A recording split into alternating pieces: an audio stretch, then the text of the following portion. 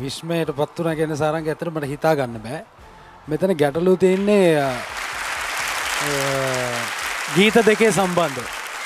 දක්ෂතාවය ගැටලුවක්නේ මම දකින්නේ ගීත දෙක. මොකද මේ ගීත මේ ගීතය දන්න ඇති කෙනෙක් නෑ. එතකොට මේ ගීතය මෙලඩිය එක වචන කැම කනේ තියෙන ගීතයක්. සහ රසික හොඳ වැඩක් කර මේ ගීතයට දෙන්න ඕනේ ෆීල් එක නියමටම දුන්නා. ඉතිං මම ඇත්තරම එක එක යම් යම් තැන්ගොල මට මිල්ටන් මල්වාරච මහත්මගේ හඬත් ඇහෙනවා. කො රනිල්ගේ අට ඇහෙනවා. ඒ වගේ පොඩි තැන්තැන්ගොල පොඩි ඉස්මත් වෙනවා. ආය ඕෆ් වෙන ඔයාගේ ටෝන් එකට. ඒ වගේ තැන කීපයක් ඇහුණා.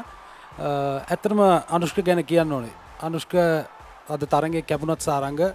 මම දකිනවා එකන්නේ ඒ ගීතය අමාරු ගීතයක් අපි කලින් කිව්ව වගේ. ඒ ගීතය පිච් කරනවා කෙන එක ලේසි වැඩක් නෙවේ.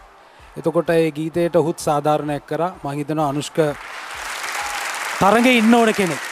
මම හිතන ඉතින මොකද මම දැක්කා සාරංග මේ ශෝෂල් මීඩිය අපි නිතරම ඉන්නවනේ. ඩේටුඩේ ඉන්නවා.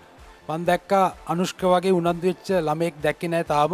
හැම දවසේම මොකක් හරි එකක් දානවා. කොහෙ කොහරි තැනට ගිල්ලා මම හිරුස්ථායක සිහි කරනවා. මට වෝට් කරන්න කිගේ ඒ තරම් උනන්දු වෙච්ච කොල්ලෙක්.